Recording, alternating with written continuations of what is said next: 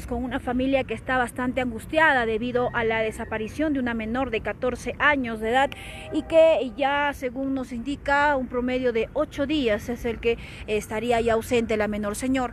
Estamos en conocimiento que mi nieta uh, a partir del día lunes uh, a las 6, aproximadamente a las 6 de la tarde, que salieron juntamente con su compañera uh -huh. de salón uh, de la institución educativa Virgen de Fátima, de Huancayo.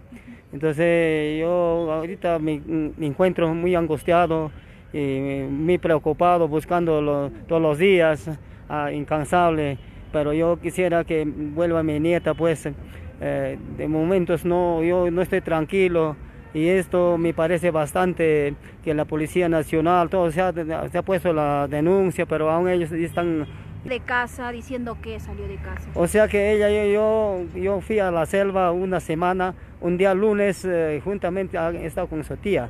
Ya su tía es, este, que también, está estudiando, pero ya no, yo no, yo no me encontré ya, o sea, no le encontré yo cuando volví de la selva.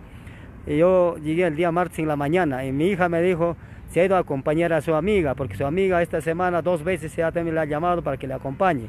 Entonces ella, cuando mi hija salieron los dos del colegio, o sea, del colegio turno ¿Cuándo tarde. salió exactamente?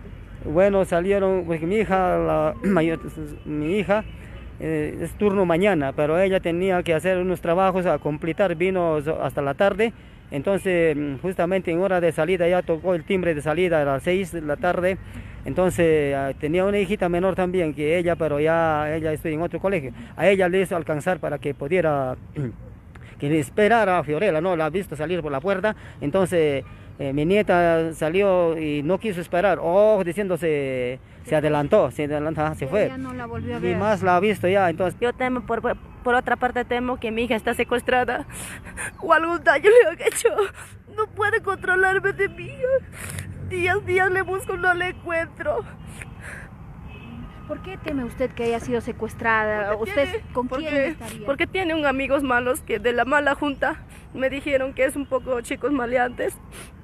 Pueda que lo tiene el mayor de edad, se cuenta el chico que tiene 19 años, lo tiene secuestrado o amenazada, las chicas no, a las tres chicas menores, son tres. El uno es de 15, el otro es 14, el otro es de 13.